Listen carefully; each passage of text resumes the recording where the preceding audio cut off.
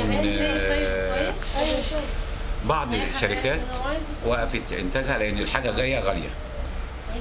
وهم مش لاقيين والعملة صعبة. والاستيراد واقف. فالشركات هتجيب منين؟ أكتر الانواع اللي ناقصه في السوق البيكولاكس مثلا ده دواء يعني الناس كلها بتعاني في مصر هنا من يعني اللي عندها إمساك على طول مزمن. فالبيكولاكس ده آه فبتعاني منه ناس كتير قوي عايشة عليه.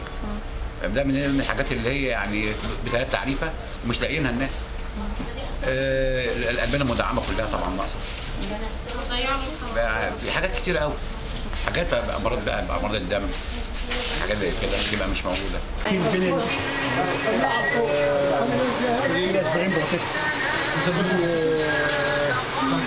الادويه الاقراص حاجات حساسيه بتاعت الادويه في البرجاتون حاجات معينه المينالاكس في حاجات آه، اللي هو من الالبومين ده اللي هو المحلي المحليين حاجات من حاجات اللي هي البيكولاكس بس مش موجوده أكيد الشركة بتاعت طبعا لازم تفتحها شوية بسيطة زي كده عشان تقدر تنزل الملايينات كلها مش موجودة في الصيدليه ولا اقراص ولا شرب ولا. القطرات ابتدت تنزل. قطرات الأنف يعني ابتدت تنزل شوية في ظل الأحداث اللي إحنا فيها دي مش عارفين هم عايزين الحاجة تغلى؟ لأن الدولار غلي. فهم بيشتروا الحاجة دي بأغلى من من ثمنها فازاي أنا هصنع حاجة وأنا أخسر فيها. أي شركة بتقول كده طبعا. فين بقى هيئة الرقابة على الادويه فين إدارة الصيدلة من ده؟